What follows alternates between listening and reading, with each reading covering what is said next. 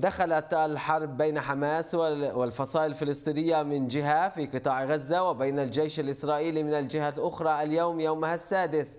بحيث واصل الجيش الإسرائيلي قصفه لقطاع غزة بلا توقف تقريبا فيما قامت الفصائل الفلسطينية بإطلاق رشقات من الصواريخ تجاه الأراضي الإسرائيلية بالذات في منطقة غلاف غزة.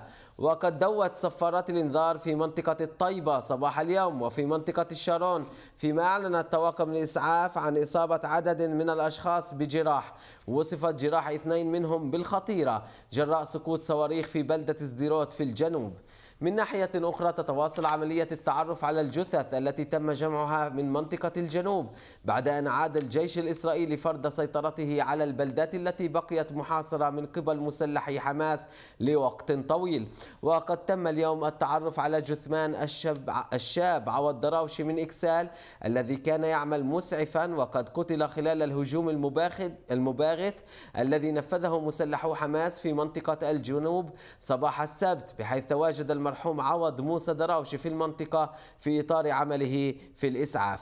وقد أعلن الجيش الإسرائيلي ارتفاع عدد القتلى الإسرائيليين منذ بداية الحرب إلى 1300 على الأقل فيما قالت وزارة الصحة الفلسطينية في قطاع غزة في بيان صادر عنها أن عدد شهداء الهجوم الإسرائيلي المستمر على غزة ارتفع إلى 1417 شهيدا. من جانبه توجه رئيس الدولة إسحاق هرتسوغ بخطاب للمجتمع العربي في ظل الأوضاع الأمنية الحالية إذ قال أنه تمر على مواطني البلد البلاد جميعا من العرب واليهود أيام صعبة. كما قال هرتسوغ أنه تحدث مع رؤساء سلطات محلية عربية وشجعهم على الاستمرار في عملهم وسط الظروف الصعبة التي تمر بها البلاد. دعونا نستمع الآن لحديث رئيس الدولة الموجه لأبناء المجتمع العربي. أخيوتاي وأخاي אזרחי ישראל מהחברה הערבית. אלה הם ימים קשים לכולנו. לא משנה מאיזה דת ולא משנה מאיזה מוצא. כולנו נמצאים תחת התקפה נפשעת, וכולנו ביחד מגויסים כדי לצאת מהמערכה הזאת, כדי לאפשר לכולם חיים טובים במדינה טובה. אני מבקש להשתתף באבלן של המשפחות השכולות מהחברה הערבית, שאיבדו את היקירים להם מכל. זהו אסון נורא. אני מחבק אותם ומשתתף באבלן. שוחחתי גם עם הרבה רבים מראשי הרשויות בחברה הערבית, ואני מעודד אותם להמשיך בפעילות, להמשיך בשגרה, להמשיך בחיים. אני מבקש להודות לכל המתנדבות והמתנדבים בכל רחבי הארץ, שמושיטים יד וכתף. זה מוערך מאוד. אני מתרגש ממחוות של אהבה, אחווה, שלום ורעות, שאני רואה בכל רחבי הארץ. ואני מתפלל יחד עם, איתכם לשלום ולימים של שקט ושלווה. אינשאללה, נצא ביחד כולנו מחוזקים, כעם אחד, כחברה אחת, מחוזקים לעבר עתיד טוב יותר.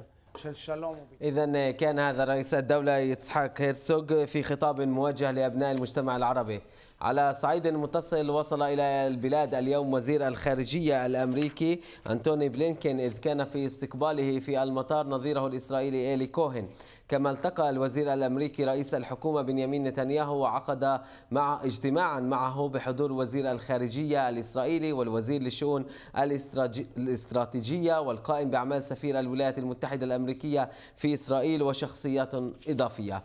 للحديث عن آخر التطورات المتعلقة بالحرب ميدانيا وسياسيا ينضم إلينا في الاستوديو في بث حي ومباشر المحامي أحمد بلحه من يافا ناشط سياسي واجتماعي. مساء الخير. مساء النور. كما ينضم إلينا عضو المكتب السياسي للحركة الإسلامية الدكتور أحمد قعدان يأتينا من باقة الغربية. مساء الخير. أسعد الله مساءكم مساء جميع المشاهدين. دعني أبدأ مع الأستاذ أحمد بلحة يأتينا من يافا. ويعني يافا تعيش أيام مش سهلة. ما هي الأوضاع في يافا في اليوم؟ اليوم الخميس إحنا سادس أيام الحرب.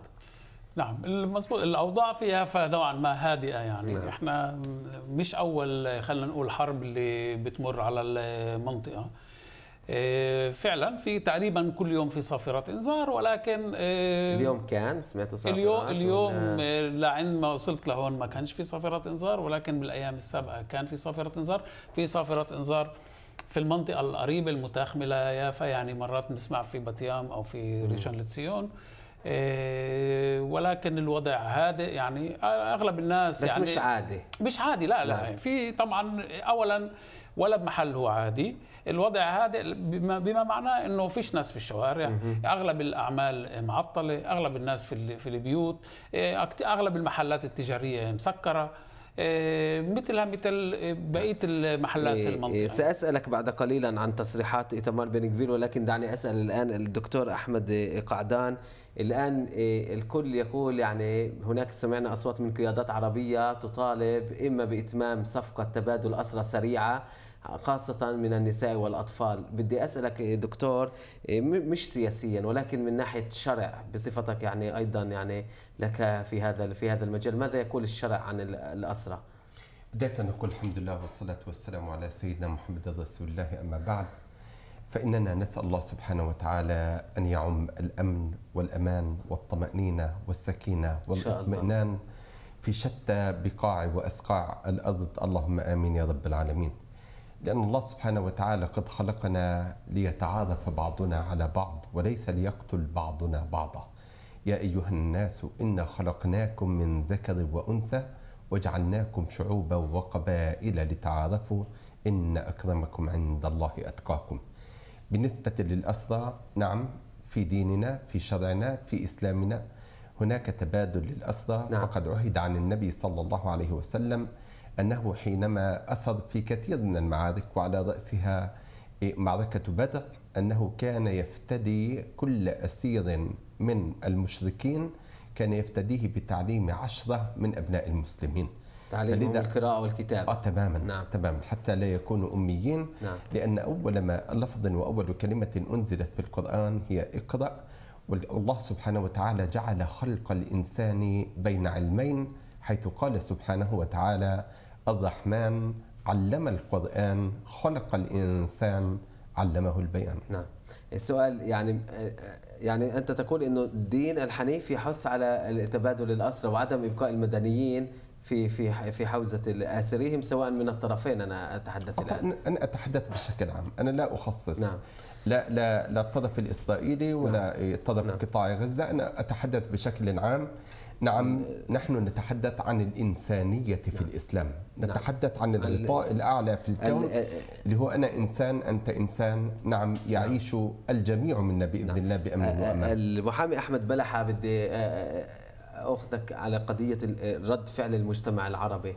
سمعنا قيادات عربية سمعنا محمد بركة سمعنا أيمن عودة الدكتور أحمد الطيب الدكتور منصور عباس وغيرهم من رؤساء أعضاء كنيسة ورؤساء سلطات محلية.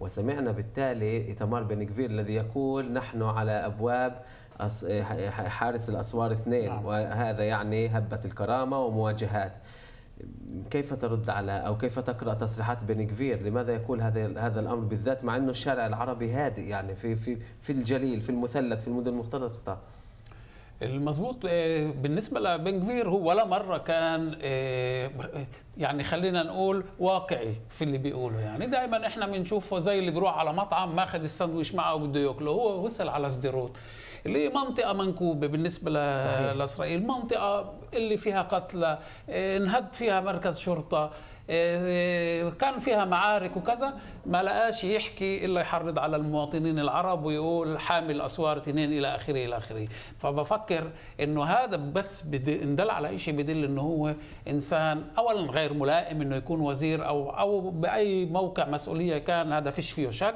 ولكن أيضا آه، إنه كمان اليهود اليوم اللي حتى البعض اللي كان يقول يمكن يمكن صاروا يشوفوا فيه إنسان اللي عماله يضر آه، في في مصالح عبء. على الدولة نعم وعلى الحكومة ومش آه، إشي اللي بيساهم كما وعد في الانتخابات اللي اللي كانت يعني. وخاصة إنه اختار يجي من موقع زي هذا يحرض على العرب.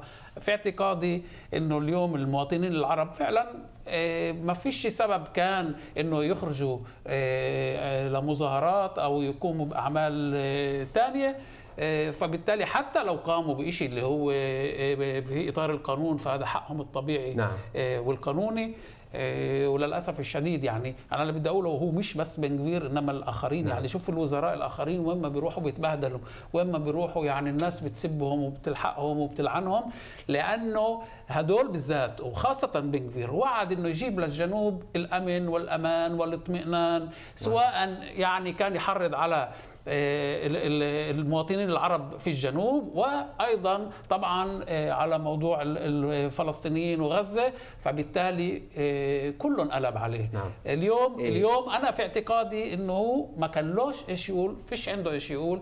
فكر إنه يمكن كمان مرة اللعبة هاي نعم. بتمشي. فأنا بزيح ال ال ال يعني الموضوع وبقول إنه المواطنين العرب هدول كمان دير بالكم منهم. الدكتور أحمد قعدان لابد كيف؟ لابد من إضافة بعد تفضل اذنك تفضل. السؤال زاد الله في فضلك ال- ال- السؤال هون لماذا غيب ولماذا همش؟ مين؟ وزير الأمن الداخلي. ل- ليش؟ غيب وهمش عن اجتماعات جد مهمة في حتى قبل مستقبل الحرب. في مستقبل دولة إسرائيل. نعم حتى قبل آه الحرب طبعا هو غيب سابقا مرتين وهذه هي الثالثة. نعم. والدولة بأمس الحاجة لأن يكون هناك وزير أمن داخلي حكيما نعم. قويما مستقيما متينا. الذي يأخذ بدولته إلى بر الأمان عكس الذي فعله.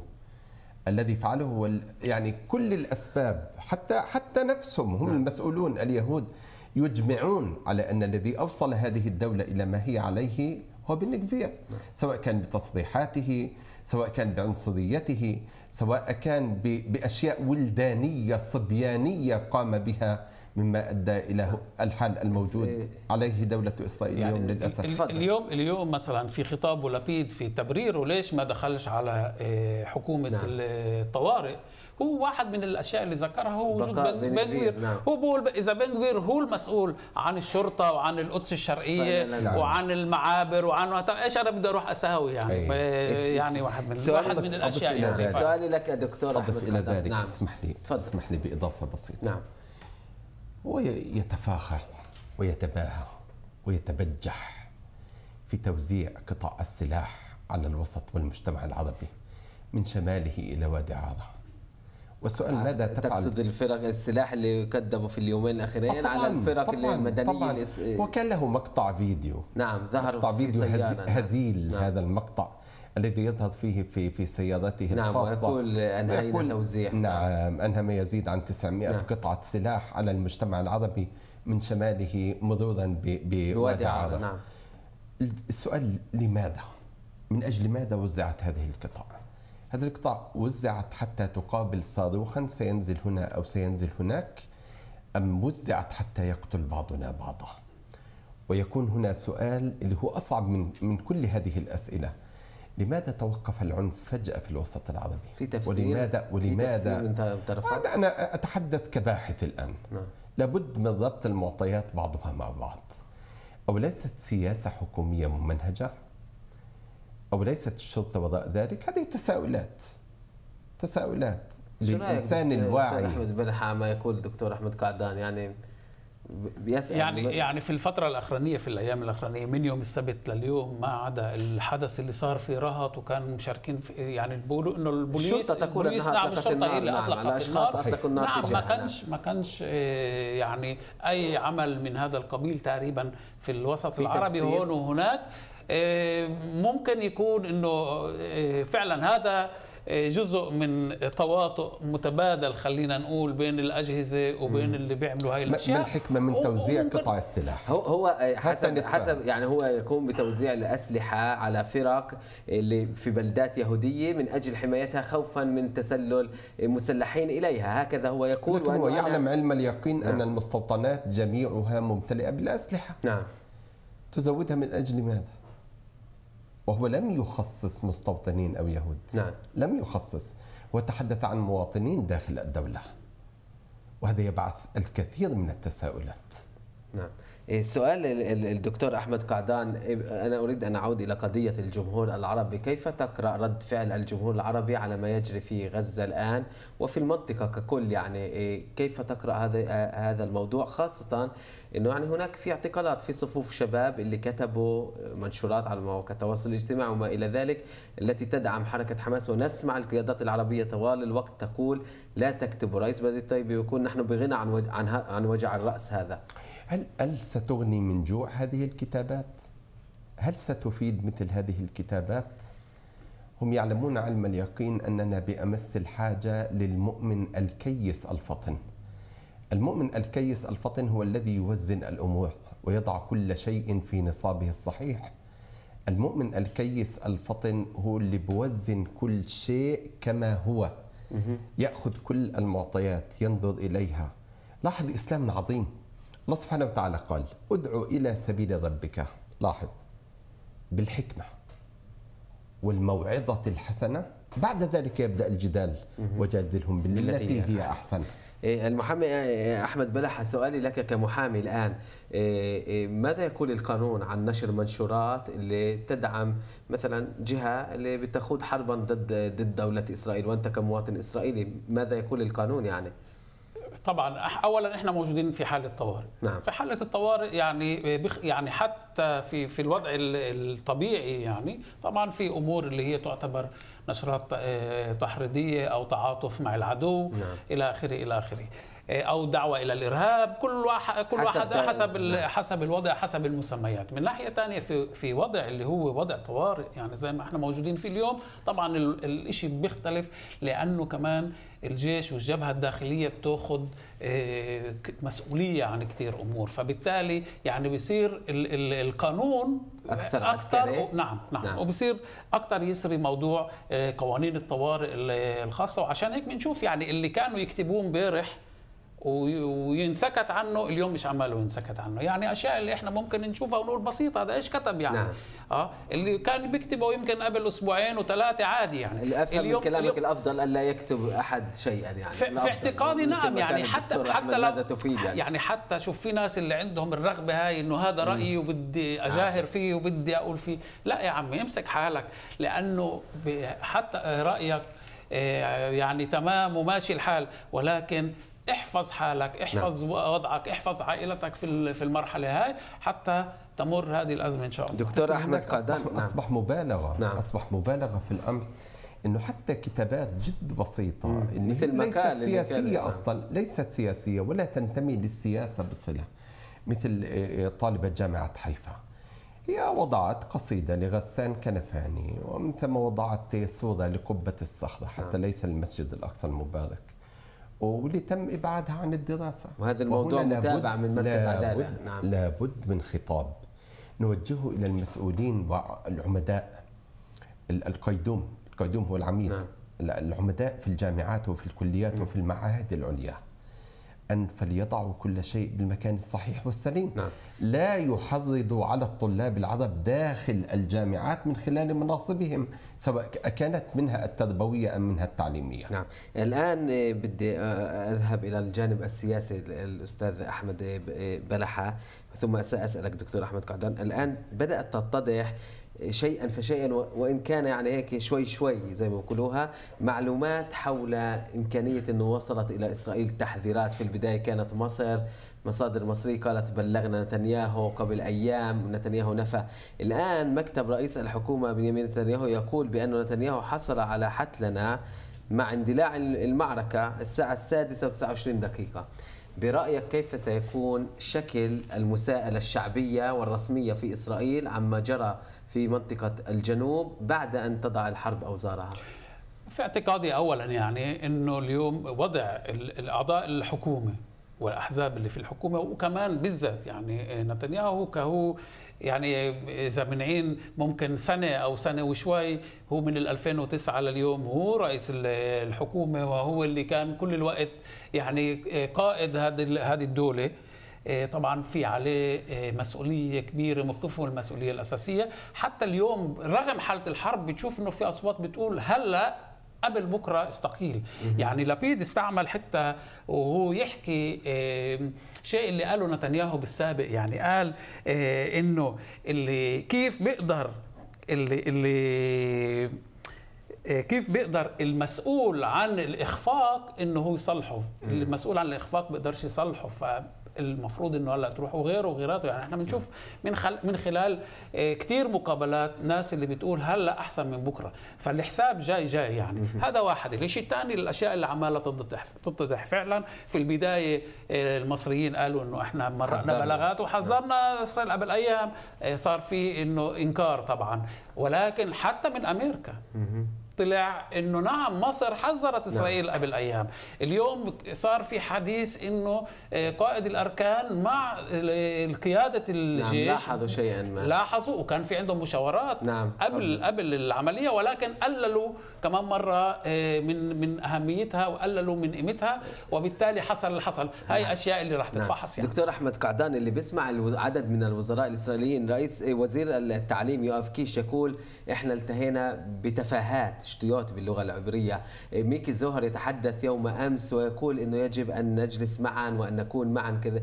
اللي بيطلع على هذه التصريحات في الأشهر الأخيرة بسبب التغييرات في جهاز القضاء وهذا الشرخ في المجتمع الإسرائيلي هل يعني ذلك بانه كل الت- التعديلات في جهاز القضاء انتهت؟ خلاص ذهبت وولت ولا ولا كيف أنت بتشوف الأمور؟ يعني أرى بقراءة سياسية جد متواضعة أن نتنياهو أخذ دولته وشعبه للأسف إلى جهنم. للأسف. هذا الحكي مش بس في الحرب القائمة. أنا أتحدث أشهر لو رجعنا إلى الوراء أشهر معدودات. حينما قسم الشعب الإسرائيلي إلى قسمين المساس بالقضاء هو خط أحمر. القضاء الذي قاضى رئيس الدولة القضاء الذي قاضى رئيس الحكومة القضاء الذي قاضى الوزراء. فأنت تريد أن تتحكم بجهاز القضاء؟ ليه؟ لأنه في قضايا ضدك أتخشى من أن تدخل السجن وأن نعم. تحاسب وأن تساءل هيك السؤال واليوم نحن نعلم أنه ال- الاجتماعات الأخيرة التي كانت ما بين نتنياهو وما بين الوزراء في الكابينيت المصغر تعال نسميه ولا تسميه مجلس الشورى الخاص بهم من باب التشاور نعم، يعني نعم. أي نعم باب المشورة والذي نعم. أبعد عن- إيه إيه بن كبير من من من أن حتى يطلع على حيثياته أو تفاصيله أو أدق تفاصيله حتى نقول من الذي كان سيسبق في مثل هذه الحرب؟ هل كانت إسرائيل هي التي ستضرب إيه، غزة أم أن غزة باغتت إسرائيل وسبقتها؟ هذه تساؤلات لابد من أن نتساءل. إيه، المحامي أحمد بلحة قبل أن ننهي أريد أن أسألك الآن عن قضية أمس استمعنا إلى تصريحات رئيس الحكومة وزير الأمن جالانت والوزير الوزير الجديد الشريك في الائتلاف الحكومي بيني جانتس إيه، يقولون إنهم يبقون الباب مفتوحا أمام لبيد بتصورك هل ممكن إنه لبيد يدخل بهذه الحكومة حتى وإن كانت طوارئ؟ شوف في لبيد حط شروط له نعم. يعني في الفرق بين جنس تتحدث نعم عن هذه نعم الشروط نعم للي ما سمعهاش، شروطه؟ حط شروط وجزء من الشروط هاي ما هي شروط؟ إنه نعم. إنه ال- اليوم اليوم الوضع إنه في الكابينت المصغر اللي هو من ثلاث أشخاص واثنين مستشارين يعني خمسة نعم. والكابينت الموسع القديم كان 10 زادوا له كمان خمسة فصار 15 هو بقول إنه يعني على كل الأحوال في الكابينت المصغر في أغلبية لنتنياهو لأنه نتنياهو قبال نعم. جانتس وإحنا بنعرف العلاقات بين جالانت وجانتس مش بأفضلها بسبب نعم نعم نعم واللي شاف على فكرة اللي شاف المؤتمر امبارح المؤتمر الصحفي شاف إنه في نفور بين ال... بين الشخصيات الثلاثة. حط إيده على كتف نعم ولكن. ولكن بتشوف إنه في آه، فتور ونفور حتى بين الشخصيات الثلاثة. فاولا بقول إنه طب نتنياهو عنده أغلبية. هلأ بننزل لل... آه، هذا خلينا نقول بيجيب التوصيات. نعم للكابينت الموسع. الكابينت الموسع برضه لنتنياهو في عنده أغلبية وفي هناك صحيح إنه إنه بنكفير واحد وسموتريتش واحد مش راح هم يأثروا حتى لو اعترضوا نعم. ولكن لهم صوت وإلهم كمان مرة لهم صلاحيات يعني سموتريتش اليوم هو مسؤول على الإدارة المدنية في الضفة غير إنه هو وزير. وزير هو وزير. المالية اللي بيفتح الحنفية بسكر الحنفية من ناحية نعم. موارد واموال هو مسؤول عن منطقة حوارة هو مسؤول كذا. بنكفير مسؤول حكينا على كل موضوع الأمن الداخلي. نعم. فبالتالي اي أي شغل صحيح راح يكون هنا فبقول هو راح تكون هنا لخبطة وقايمة يعني سلطة وقايمة. فإما. نعم إخراجهم وإما أنا بكون. ولكن إذا إذا أحسن. ممكن تطورت الأمور بطريقة اللي هي تكون خطيرة جدا ممكن لأنه الباب ما زال مفتوح نعم. والسياسة طبعا هي علم المستحيل. وممكن بالآخر. أما في الوقت الحالي مش مبين مع إنه قال أنا راح أصوت مع كل نعم. القرارات وراح أصوت مع الحكومة وأنا مؤيد وكذا والحساب يعني بعدين. بالمجمل له الكلمة الفصل. نعم. بالمجمل نتنياهو. له نعم. الكلمة الفصل السؤال لك الأخير دكتور أحمد قعدان يعني نحن نجري مقابلات مع رؤساء سلطات محلية عربية الكل بيقول إحنا جاهزين ولكن في جملة لافتة ستعرض يعني في مقابلة مع علي سلام رئيس بلدية الناصرة بعد الفاصل نعم. اللي بيقول إحنا كل جاهزيتنا قمنا بها ولكن هذه الجوزية لا في الناصرة ولا البلدات العربية الأخرى تصل إلى 1% صحيح. من ال- البلدات اليهودية تعقيبك على هذا صحيح القول اولا أشيد بدور البلدية الفاعل رئيسا وأعضاء وموظفين ومتطوعين الذين نذروا أنفسهم لخدمة بلدنا في باقة. أحدد باقة تخصيصا كوني عضو بلدية. في عندكم فريق متطوع؟ نعم الحمد لله. يعني فتحنا المجال لكل الناس. فسح المجال لمن أراد أن ينتمي إلى فريق المتطوعين فليتفضل ذكورا وإناثا كبارا نلتمس منهم طبعا حكمتهم. وبالإضافة إلى الشباب شابات إلى غير ذلك لأنه لابد أن نكون يدا واحدة يد واحدة لا تصفك يد بجانب يد نعم نكون من ضمن التآلف والتلاحم والتكاتف بعضنا مع بعض وبالذات أننا نمر في أزمة بالذات باقة الغربية نعم. اللي اللي فوق باقة. فوق باقة تم إسقاط صاروخين اللي اللي اللي تم فقعهم في الهواء وسقط اللي هو الصاروخ اللي نسمي المعترض الإسرائيلي هو الذي سقط بمحاذاة باقة الشرقية. ولكن لابد من تصحيح قناة الميادين قالت مستوطنة باقة الغربية ونحن نعيب على مثل هذا القناة ومراسليها. نعيب عليهم ما تم طبعا من وصمة عار إلصاقها بباقة الغربية الطاهرة الشريفة. نعم. أقول بجملة لابد. لابد لجميع البلدات العربية أن تسعى برؤسائها بأعضائها بجميع هيئاتها موظفيها. لابد أن يسعوا لتحصيل الحد الأقصى في غرف الطوارئ. يعني اليهود مش راح نوصلهم. شئنا ما بينا بنقلوا ملاجئ قاعدين اللي هي الملاجئ النقالة نعم، نعم. في البلدات اليهودية. ولكن فليكن لنا هذا الصوت المسموع لأن نحمي بلادنا لأن نكون يدا واحدة نترك السياسة جانبا نعم. نترك الترشح جانبا نترك المنافسة السياسية الشريفة جانبا الآن ولنكن ولنكن كلنا بإذن الله عز وجل يدا واحدة طيب. للدفاع عن أهلنا أنا كنت أنا ولكن بدي أسألك لأنه ذكر بس أقول. بالنسبة. للموضوع هذا يعني نعم. شوف بلدية مثلا تل أبيب.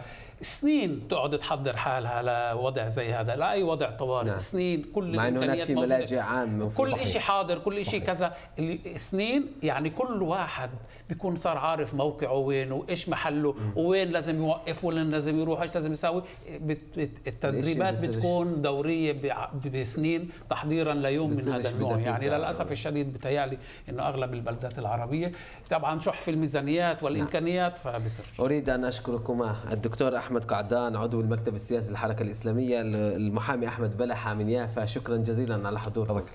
المشاهدون والمشاهدات الأعزاء نخرج إلى فاصل إعلاني ونعود مع المزيد بعد قليل. ابقوا معنا.